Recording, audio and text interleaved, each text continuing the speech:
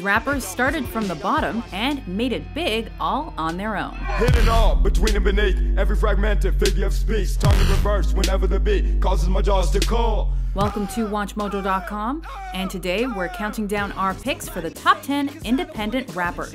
I'd rather be up in the mansion for the polo sale, but I'm here, stuck inside my thoughts. For this list, we'll be taking a look at rappers and MCs who found most of their fame independently. Just to get, just to get. They may have made their name with impressive record sales, incredible stage shows, or just a unique style that earned them critical acclaim. Regardless of how they achieved success, including if they spent time on a major label, these are the rappers who did it their own way, and we're basing our choices on a mix of their song quality, credibility, and talent. Strange days when your favorite rapper's popping, but is he on top of something you can't gauge? We've excluded Macklemore because, even though he's still indie, his massive mainstream success makes him an inappropriate fit for this list. I'm gonna pop some tags. Only got twenty dollars in my pocket. 10, R.A. the Rugged Man. Yo, yo, don't get me started. I'm golden era 88, baby. Highly regarded. I get stupid, dookie doodle, deaf, dumb, retarded. Watch you fade like a high top when I drop. Leave you flattened like a pancake at IHOP with a Name just about any famous rapper, and you'll likely be able to find ties to R.A. the Rugged Man. He's the Kevin Bacon of the rap game. Everyone is connected to him. Despite just two official full length releases over his 20 plus year career, Spit at the cops, I'm resisting arrest. They wanna see me fry like a chicken wing in the breast. The truth is, behind closed doors, I'm a bit of a sissy. Singing love ballads to bitches like Lionel Richie. No. R.A. has built a reputation as one of the best independent performers around. Cutting your throat and opponent opposing, leaving you floating the ocean. You was a Leah rocking the boat and leaving. He's worked with artists like Notorious B.I.G., the Wu Tang Clan, Only every illiterate, ignorant, critical. Every idiot that ain't live it. They talk their shit. I'm already. Mobb Deep, and many other accomplished artists. And when you've been rapping since you were 12, it's no surprise to find out you've got some skills. Blessed of the poor in the spirit. Yeah, I took it biblical. I'm so dangerous.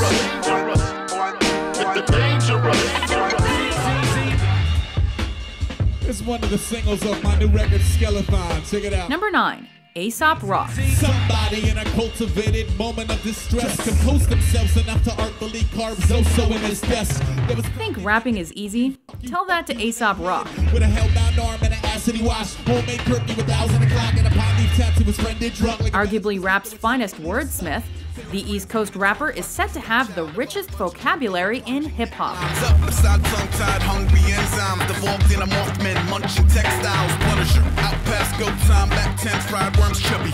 Has also been compared to literary greats like Shakespeare and Herman Melville. He flashes his lyrical brilliance with off the wall metaphors and regular use of homonyms. Okay, woke to a grocery list. Goes like this duty and death. Anyone object, come stand in the way. You could be my little Snake River Canyon today. More than just a talented rapper, Aesop also flashes his production skills both on tracks for others and on his own. He's a prolific artist, both on the mic and in making beats. But the quantity doesn't dilute his quality. bursting out of germs, germs, urging me walking through the circuits of an earlier plot. I see you at the bottom. Z Z Z top. That's a good one. They always start off good. All right, let's try this. Number 8, Brother Ali. I don't beg nobody pardon to be confident. I'm just saying my shit didn't exist until I did it. I'm the one to suffer for the politics that I done spit. I ain't quit. I hit every continent, embodied it. There's no other rapper quite like Brother Ali. After gaining the attention of Rhymesayers Entertainment, Ali began appearing on his label mates' tracks, including working with Rhymesayers co-founder Slug's group Atmosphere. Ali won over audiences with his intense presence, which has carried over to his albums. Only two generations away from the world's most despicable slavery trade. He's never been afraid to speak his mind, even when sponsors backed away from him and cut his tour short. I ain't hating, I still wanna believe it, and I'm not trying to leave it. I just call it how I see it. Ali has built a strong following with strong sentiments through his politically charged, passion filled, self examining lyrics.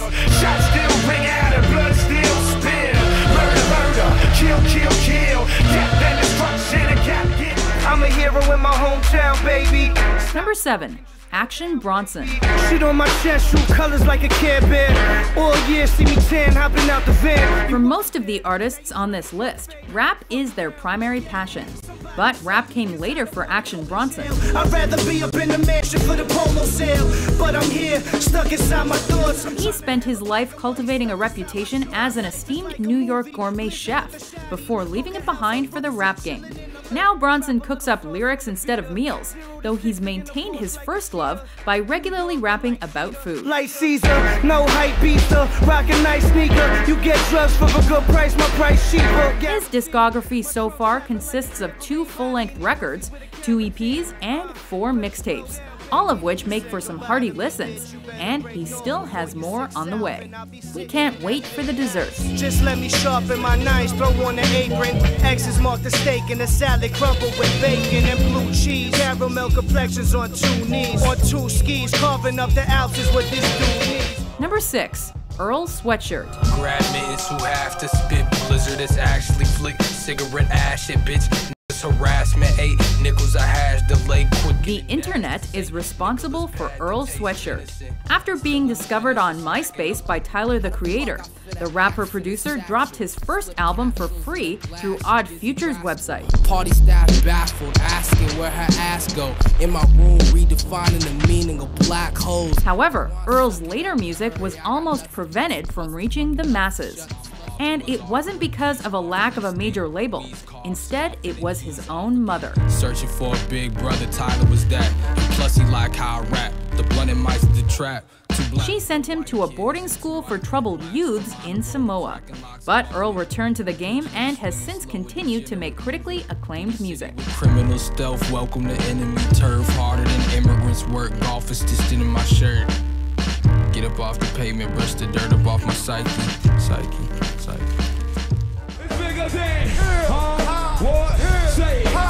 Number five, Dead Prez.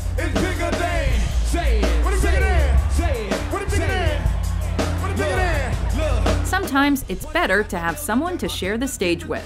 If you check one, two, my word of advice to you is just relax. To do what you got to do, if that don't work, then if you a fighter, rider, by rappers M1 and Stickman, acting as partners in crime has served them well. My homie got a 25 automatic added to the game. Get the phone book, look up in the yellow page. Let me tell you how we gonna get paid. Performing as the duo Dead Prez, these two MCs have built their audience through their confrontational style, both in the booth and on stage. They never shy away from talking about issues that matter to them, and they aren't afraid to back it with actions. Same folks selling us lies about Christmas, Santa Claus, and the Easter Bunny, just so the capitalists can make money. They say gotta take care of it, but you a terrorist if you say the same thing in Arabic. Regularly lighting money on fire or throwing health food into the crowd at their shows. Wade in the water, I'm following Miss Tubman in that turn. I'm praying for my freedom and headed for the border. My way might not be your way, but it's okay.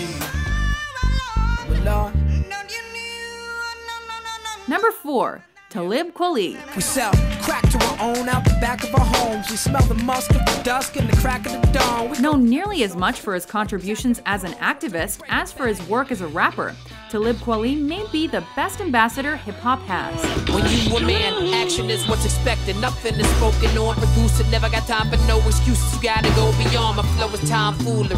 I smoke these poor rappers so fast. For this Brooklyn rapper, there is no differentiating between his music and his activism, and he regularly shares his views on society and politics in his lyrics. Get breast enhancements and penis enlarger. Saturday, Sunday, Sunday morning at the feet of the Father. They need something to rely on. We get high on all types of drugs when all you really need is love. Even during his stint with Warner Brothers Records, Kweli used his platform to showcase underground artists, to elevate their profiles, and promote the positivity of hip hop culture. I don't care what people say, as long as you and me okay, cause I never been in love before. Number three, MF Doom. The rest is empty with no brain. The governor, the best MC with no chain you ever heard. Though he likes to position himself as hip hop's supervillain, MF Doom is a hero to independent rap fans. Can't put shit past him, got on his own team, mad enough to blast him. Retarded in real life on the mic, Rain Man. Stand close to his main man like a chain gang. Known for his unorthodox, off kilter flow and a style that is nearly impossible to replicate, Doom doesn't quite fit into any of the common categorizations for rap. His solo albums are considered by many to be classics, but his collaborations with Madlib under the name Madvillain. So nasty that it's probably somewhat of a travesty having me. Then he told the people you could call me your majesty. And Danger Mouse as Danger Doom. One guy tried to bite the heat, was when he discovered the other, other white meat. Showcase his ability to work with others while still standing out as a solo act. Curses, he's truly the worst with enough rhymes to spread throughout the boundless universes. Let the beat blast. He told her with a mask. He said, You bet your sweet ass. But I keep my fans fainting like clucks do. You don't like how we live. Number two, Tech N9ne. I dominate your conglomerate. What anything I can accommodate. It'll be a non-debate coming up against Ron the Great. It seems like Tech N9ne has always known that he wouldn't quite fit in with most rappers. That would explain why he started his own label and named it Strange Music.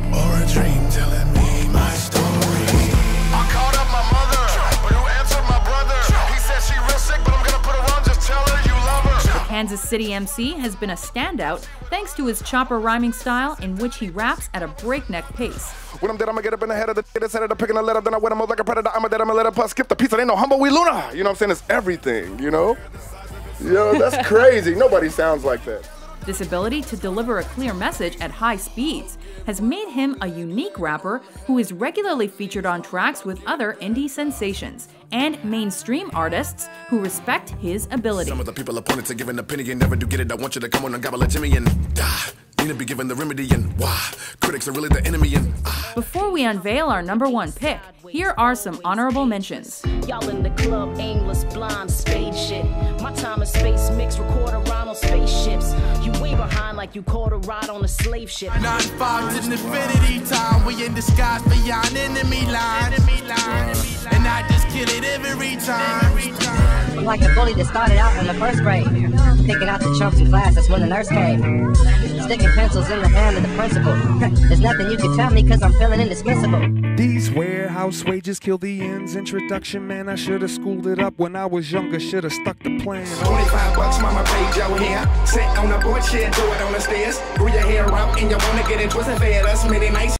When I say hip hop, I don't mean the music, I mean the culture, not the vultures. Number one, Immortal Technique. Sulfur fearless when I spit the flow, talk with my hands like Cicero, and it The king of the underground rap scene, Immortal Technique has built his own empire without a major record label behind him. He built a reputation because he could hustle and steal, but got locked once and didn't hesitate to squeal. Started After building a following as a battle rapper, he made the jump to music. some brothers to crack rock, working overtime, making money for the crack spot. Hit the jackpot. and He's insisted that artists should fight to retain rights and creative freedom when it comes to their work. And he's embodied that belief. They said that the success of my music was theoretic, but my revenge is sweet enough to murder diabetics. Eugenics, Procter and Gamble, credit racial science. His lyrics are aggressive and uncompromising, and his fans love him for it. Left and on my heart is blacker than the children. A Thomas Jefferson, blacker than back in the days of the tar and feathering. His third album even cracked the Billboard 200 chart, and his success will surely only build from there. This is the front line, this is the dead zone. Barely alive or in a box is how you head home. Do you agree with our list? Which self made wordsmiths do you bob your head to? And the world rejoicing you're a fall from grace. What I came to the sky like none shall pass. For more independent top 10s published every day, be sure to subscribe to WatchMojo.com. The A to L to I, and I'm the goddamn shit, y'all. Dangerous. Dangerous.